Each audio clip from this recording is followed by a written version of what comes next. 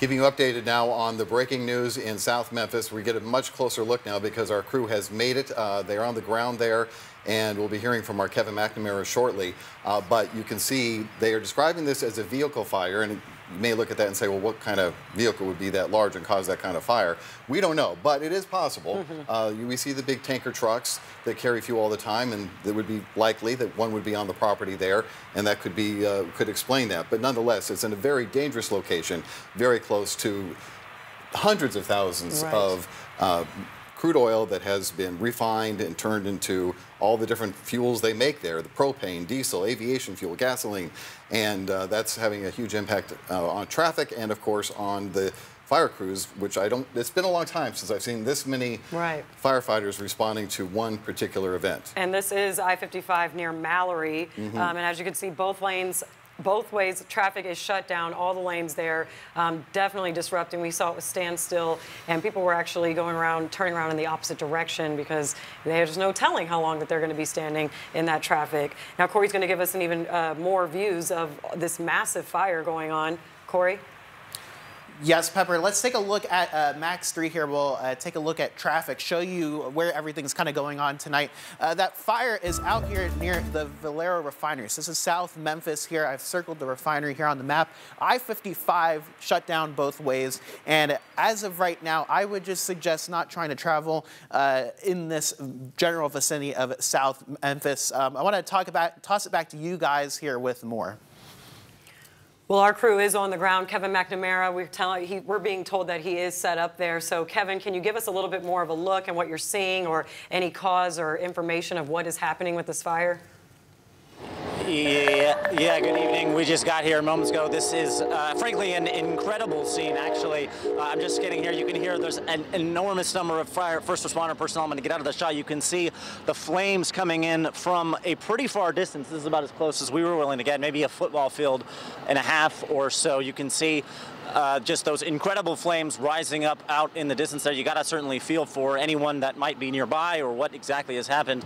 Uh, again, we are here on Mallory near I-55. We don't exactly have any more information at this moment as far as uh, exactly what's taken place. I know it's been said that this is a vehicle fire, but I can certainly say uh, as I sit here, and those flames are growing stronger even now by the moment. It doesn't seem like a fire that has started from a vehicle, but obviously uh, if something were to jump or get closer to some of these refinery plants here on Mallory, uh, and who never knows what could happen. Certainly we're getting a good look at the power of those flames continuing to get stronger just in the moments since I've been here. We've really only been here for probably about two minutes or so. Uh, as you can imagine, of course, traffic blocked off, diverted both ways. Uh, traffic certainly impacted. Be aware of that if you are heading down here to this southwest Memphis area, I-55 and Mallory. Again, there's first fire, fire trucks, first responders, other emergency personnel still coming in here uh, as we speak. They've got numerous uh, police vehicles, again, uh, all set up here on Mallory.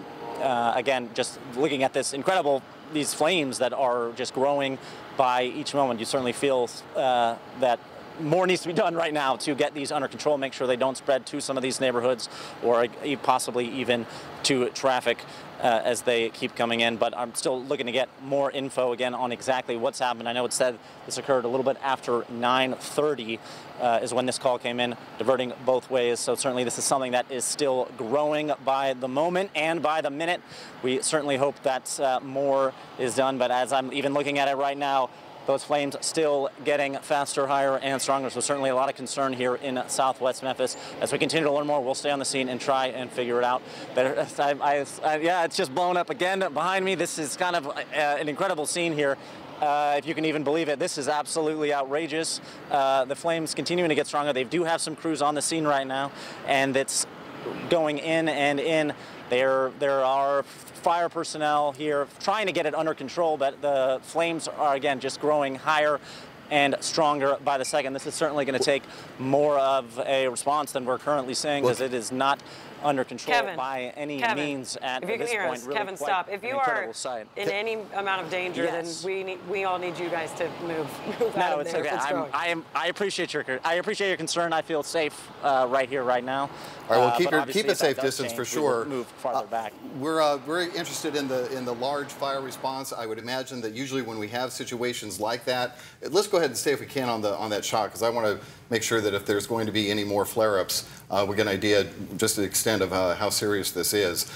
Anyway, what I'm what I'm going at here is they usually will set up a command post at some point, and that's when we'll start to get some answers. But they're too busy right now uh, to answer our questions. They have a huge uh, fire on their hands that uh, surpasses anything we've seen in quite some time in the Memphis area, and of course, it couldn't be at a more dangerous location. The Valero refinery, as I've said at the top of the newscast, is as big as it gets in Memphis, and it supplies gasoline for all our cars in the Memphis area, no matter where you get gas, and aviation fuel to FedEx. And this call came in again at 9:30, and it's uh, nearing an hour now, and they still haven't been able to get under control. It looks like it's even getting more out of control.